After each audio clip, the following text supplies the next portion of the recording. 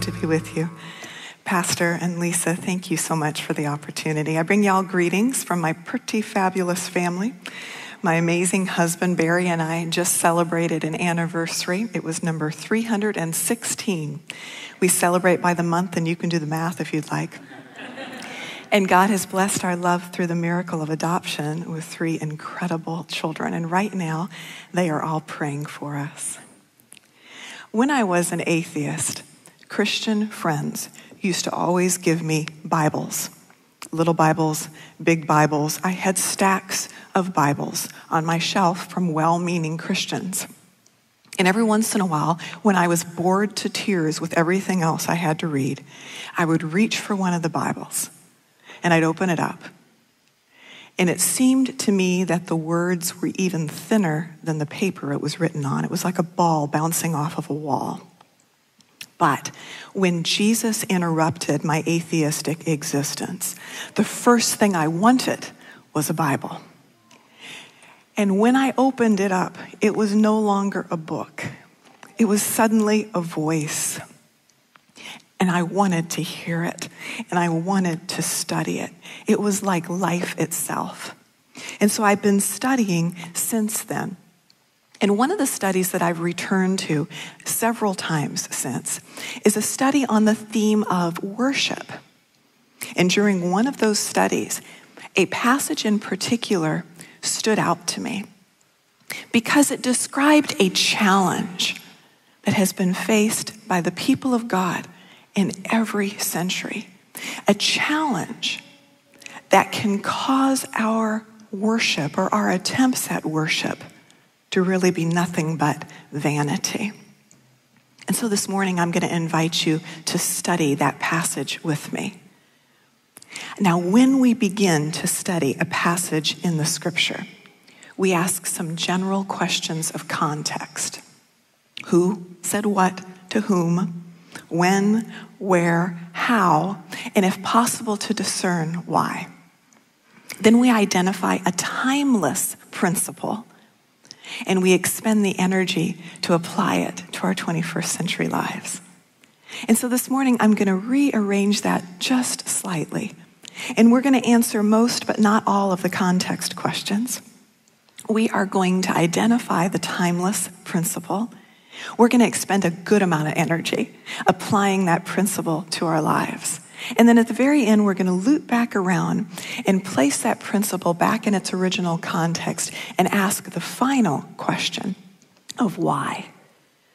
So I invite you to look with me at some of the less than heartwarming words of Jesus that perhaps we shouldn't be surprised that Hallmark has not made a card out of. Matthew chapter 15, starting in verse 7. Jesus says, you hypocrites. Isaiah was right when he prophesied about you. These people honor me with their lips, but their hearts are far from me. They worship me in vain. Their teachings are but rules taught by men. Again, you hypocrites. Isaiah was right when he prophesied about you. These people honor me with their lips, but their hearts are far from me. They worship me in vain. Their teachings are but rules taught by men. The questions of context. First, who said what to whom? Well, we have Jesus, and he's speaking to two groups of leaders. He's speaking to the Pharisees and the teacher of the law, teachers of the law. And what he says to them is actually words from the book of Isaiah. Isaiah chapter 29, verse 3 says, These people come near me with their mouths and honor me with their lips, but their hearts are far from me. Their worship of me is made up only of rules taught by men. The when of this passage is really interesting. I want you to think of it as the center of a miracle and a faith um, sandwich. And so, right before this, Jesus feeds the 5,000 and he talks to Peter about having little faith. Then we have our passage. Right after this, he speaks to a Canaanite woman about having great faith, and then he feeds the 4,000. Where? We're at Gennesaret on the northwest shore of the Sea of Galilee. How? I think we can safely say the tone is confrontational. And we're going to save the why for later. Jesus says, You hypocrites, Isaiah was right when he prophesied about you. These people honor me with their lips, but their hearts are far from me. They worship me in vain. Their teachings are but rules taught by men. So, evidently, the people in the Old Testament faced a challenge that the people in the New Testament also faced, that we face today. And it is a challenge of being able to distinguish being able to discern, being able to tell the difference between forms and substance. Jesus said that the people honored God with their forms. He said, They honor me with their lips. They said the right things at the right times.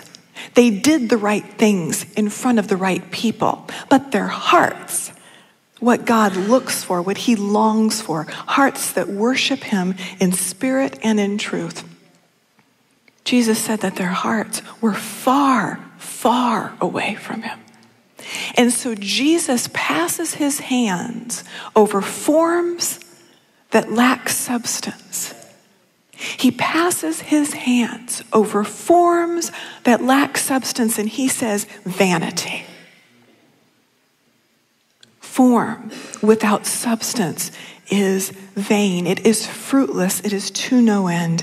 It is worthless. The challenge before us is distinguishing between forms and substance. Now, let me layer some illustrations over this. Let's say that my new friend Lisa and I are talking. And Lisa says, Alicia, I'm thirsty. And I say, Lisa, I can take care of that. And so I go back into the kitchen and I get this form. It has no substance within, it's just a form. And I hand it to her, and she says, Well, thanks, Alicia, but the form without any substance is useless to meet her real need. True? And so I think, oh, I'm so sorry, Lisa. I don't know what, what on earth was in my mind. I'll be right back. And so I put down the form. I go back to the kitchen. I turn on the faucet. I cut my hands under some pure substance, no real transferable form to carry it in. And I say, Here you are, my friend. so the form without any substance was useless to meet her need, but the substance without any form was unusable. You need both. They're dependent and yet they're distinct. Let me layer another illustration. Consider your modern orange. Now, to my rather unagricultural eyes, this orange only has two parts it's got the form, it's got the peel, and then it has the substance. It has the stuff inside, the stuff I want to get to that tastes good, that's going to give me my daily dose of vitamin C. So let me ask you a question Is the form necessary? Yes, absolutely. The form protects the substance, the form preserves the substance, the form prolongs the substance's life. But is the form the substance itself? Mm-mm. No, they're dependent and yet distinct. Now, what if I were to become confused? And I were to start thinking, no, no, no, the form is the most important part. The form is what will nourish me. The form is what will strengthen me. I'm so convinced that the form is the substance that I'm going to eat it. I'm going to take a bite. Mm. What did I just taste? This is a time for group interaction. what did I just taste? Sour. Yes, sour, bitter. Because form without substance is all that. Form without substance is bitterness. Form without substance is vanity.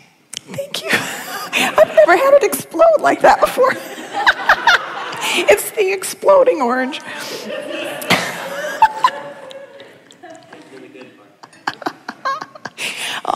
but how easy it is to confuse the two, isn't it?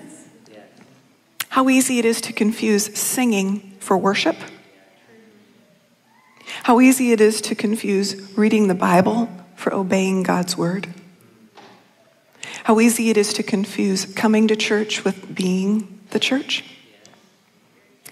How easy it is to confuse experiencing God's presence with, with actually walking intimately with God as a person. How easy it is to see form and substance confusion in other cultures and in other generations. And yet to miss form and substance confusion in our own culture, in our own generation. To miss seeing how we're passing on hand me down form to the next generation and wondering why they're just not as excited about it as they should be. Now, this challenge of distinguishing between forms and substance saturates the teachings of Jesus. But this morning, we are going to look at three ways in which form and substance confusion creates absolute chaos. Form and substance confusion creates absolute chaos in our pursuit of unity our pursuit of ministry, and by that I mean the service that overflows from your life and your faith, and our pursuit of integrity. So, first, consider with me the chaos that form and substance confusion causes in our pursuit of unity. Now, a long, long time ago, I was preparing to go serve as a missionary in Asia. And I wanted to make sure that I presented myself as a modest woman of God. So back in the day, modesty in South Texas, which is where I lived, meant, thank you, meant really, really long dresses. Now they've come back recently, but back then they weren't near as cute. So we used to call them granny dresses. They went all the way down to the ground. But it was South Texas. And so everything we had was sleeveless, and we gave ourselves a bit of breathing room. I sewed myself to go on my missions trip my own wardrobe of granny dresses. And I put on my favorite navy blue one on the plane. I hopped off the plane in Hong Kong. And I was greeted by these beautiful Chinese female ministers whose skirt lines were above their knees, but who, in that culture at that time, would have never bared their arms. And they would have never had a neckline below their collarbone. So we're in the airport and we're staring at each other. And we had a couple of choices, didn't we? We could have looked at each other and dismissed one another as a modest women of God. Or we could have looked at one another and said, you know, perhaps modesty in South Texas takes on a different form than it does in Hong Kong. Which is what we did. We looked at one another and we laughed, and then we did the only reasonable thing you can do in such a situation. We went shopping.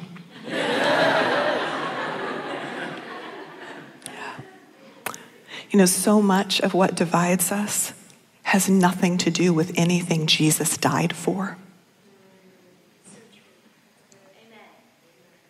Another illustration there are these women in my life whom are mentors, and they are from a completely different culture and a completely different generation. And every year I have the privilege of spending a couple of days with them on a prayer retreat. Well, one time in particular, we were all around the dinner table and they were sharing the agony they felt in their hearts, how grieved they were about the kind of music that had entered the church they were attending. And I listened with interest. And they talked about how studies had actually been done. And when this type of music played in the presence of farm animals, that cows stopped giving milk because the rhythm of the music was so contrary to the rhythm of life. And when this music was played in the presence of chickens, the chickens would just up and die. Because it was so contrary to the rhythm of life. So I'm eating thinking, what kind of way far industrial sound? What are they listening to? And then they started mentioning specific titles of specific songs. And I thought, oh, they're talking about my music. This is my worship. And so as I sat there in silence, which was definitely the wisest posture at that particular moment, I realized, you know, this is an issue of generational and probably cultural form and substance. Because the forms that carried true worship for my sisters from a different culture and a different generation did not carry true worship for me and vice versa. Know, there are many in the church today, capital C church, that love the hymnal and then there are others of us who prefer to sing off the wall. But really, what's the hymnal? It's a book, it's a form. What's the projector? It's a machine, it's a form. And unless those forms are filled with the substance Jesus is looking for, hearts that worship him in spirit and in truth, Jesus is going to pass his hands over the hymnal and the projector equally. And he's going to say, vanity. When it comes to our pursuit of unity, form and substance confusion creates short sighted judgments and long lasting divisions. I want you to consider the chaos that can also result when we experience form and substance confusion in the area of ministry, in our pursuit of serving, wherever that happens to be, in the home, in the business, in the marketplace, wherever it is that God has planted you. I think that all of us remember forms that used to work, don't we? Whether it was a flowchart at work, it was a certain system that you had set up in the home, whether it was timeouts if you're a parent, there used to be some kind of system, some kind of form that used to be fruitful, and now not so much. But our natural tendency as humans is to keep dragging that old form with us and putting it back in place and stepping back, waiting for it to suddenly give birth to the substance we remember and the substance that was so meaningful. But form is not the source of servant of substance. Form is the servant of substance. Form isn't the creator of substance, form is the caregiver of substance. And regard, if you don't have substance, it doesn't matter how fancy your form is, it's going to dry up really, really quickly. And so the religious leaders of Jesus' day that he was speaking to in that context, the ones that had come to evaluate him, oh, they loved forms. They loved counting forms. They loved measuring forms. They loved measuring other people by forms. And so I want you with this principle in the forefront of your mind now to consider a passage in Luke chapter 5, verse 36 through 39. Jesus says, No one tears a patch in a new garment and sews it onto an old one. If he does, he'll have torn the new garment. The patch from the new will not match the old, and no one pours new wine into old wineskins. If he does, the new wine will burst the skins, and the wine will run out, and the wineskins will be ruined. No, new wine must be poured into new wineskins. And no one drinking the old wine wants the new because he says the old wine is better. I think that the people in Jesus' day prayed the same kind of prayers that we do.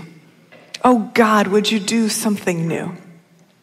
And I think they also had this unspoken addendum.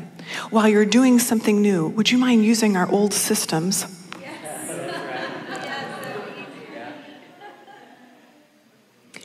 And God says, I am doing something new. Even now it springs up. Do you not perceive it? But this something new may not be carried well by your something old. The religious leaders of Jesus' day weren't willing to release what they could count in order to accept what would set them free. Really, what a pity, isn't it? To treasure the cup more than the life giving water that it can hold. When it comes to our pursuit of service, our pursuit of ministry, form and substance confusion causes tired practices that are fought for, but perhaps they become lifeless. And I'd also like you to consider with me the absolute chaos that can ensue when we experience form and substance confusion in our pursuit of personal integrity, the harshest words of Jesus, the harshest words of Jesus were not reserved for those who did not know him. The harshest words of Jesus were reserved for hypocrites, reserved for those who hoped that their visibly seen form would somehow be a substitute for interior integrity. Consider with me Matthew chapter 23. We're going to start in verse 23. Jesus says, Woe to you, teachers of the law and Pharisees, you hypocrites! You give a tenth of your spices. But you have neglected the more important matters of the law justice, mercy, and faithfulness. You should have practiced the latter without neglecting the former. Woe to them! Woe to me! Woe to us! We tithe, we give, and we should continue. But have we neglected other important matters of God's law? Are we fighting for justice for the helpless? Are we showing mercy to the broken in mind? Are we being faithful to our covenants and to others' covenants?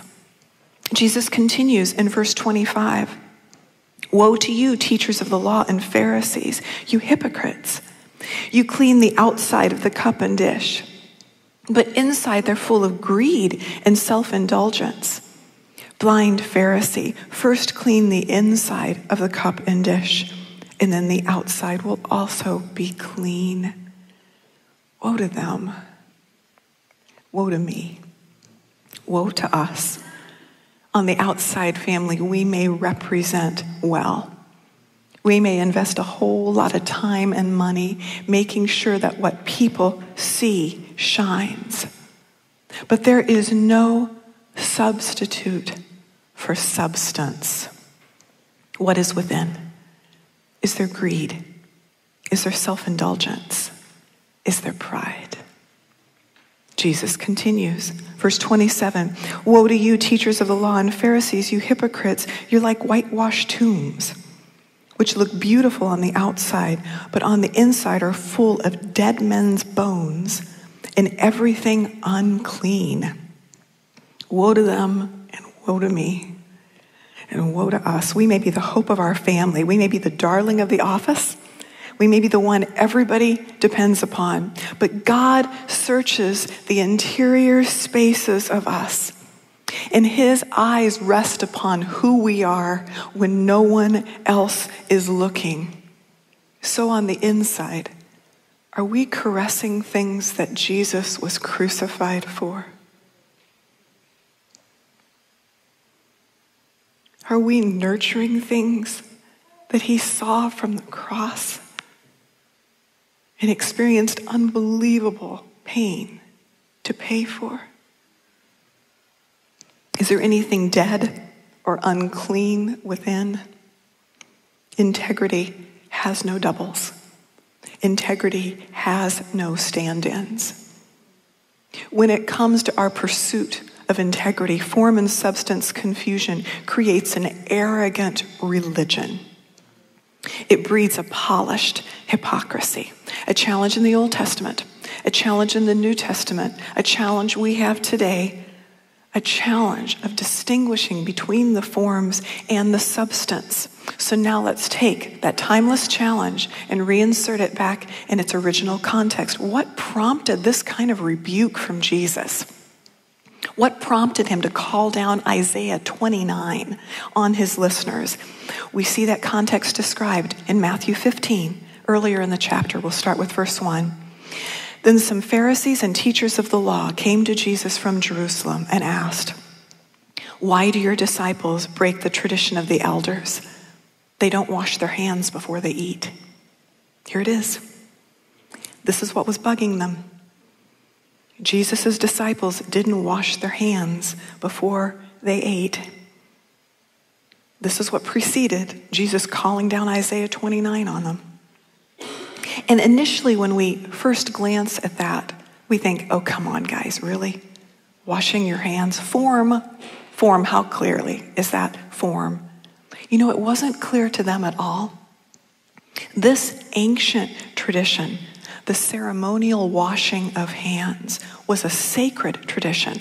It had been passed on generation to generation. It was eventually recorded in the Mishnah. It had become a matter of conscience and it was enforced with fervor. To break this tradition was seen as a transgression against God Himself. One of the rabbis, Rabbi Joseph, was quoted as saying that to eat with unwashen hands was as great a sin as adultery. There was another rabbi, Rabbi Akiba, and he was imprisoned for some reason. And each day he was given two glasses of water one to drink because we need water to live, and another glass with which to wash his hands. There was an accident. One of them tipped over, all of its contents spilled on the ground. He had one glass left. What do you think he did with it? Did he drink it or wash his hands? He washed his hands. And this is what he's quoted as saying I would rather die than transgress the tradition of the elders. For them, that form had become substance. The form had become substance. And I am certain that that form and substance confusion caused incredible problems in their pursuit of unity, that it made ineffective some of their pursuits of ministry, that it perhaps created great chasms on the inside in their pursuits of integrity. But you know what grieves me the most? Their form and substance confusion caused them to miss the manifest presence of God in their midst. They couldn't see Jesus.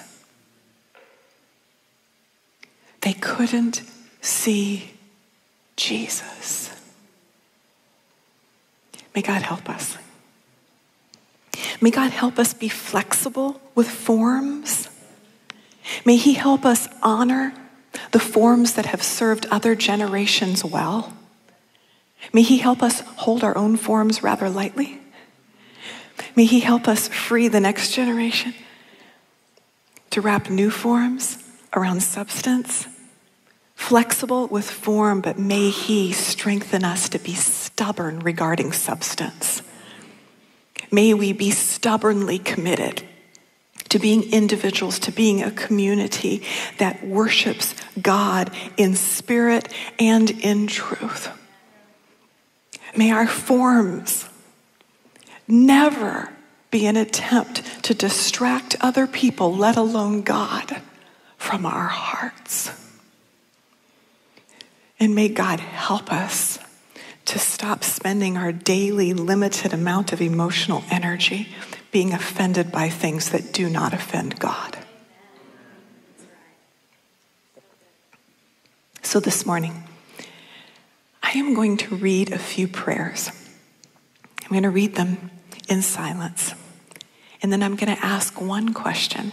So while I read these prayers, I encourage you to just rest, but listen. Listen to see if God is bringing anything to your attention. And write that down or nudge a friend, say, There's something I need to talk about. And then, as I said, one final question. Here are the prayers God, in your mercy, please reveal to us any way in which we devalue others' sincere souls simply because of their form.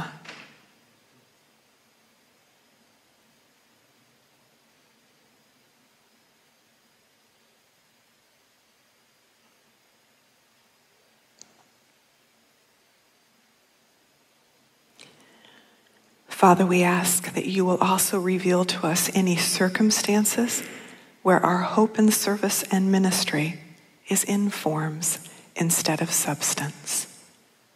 We wait upon you.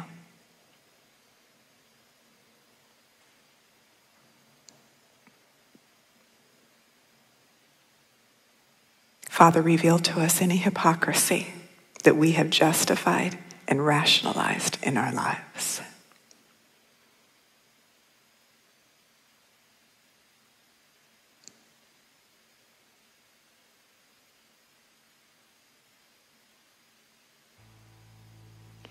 And Father, reveal to us any way that our focus on form is blinding us to the manifestation of your presence. We just want to see Jesus.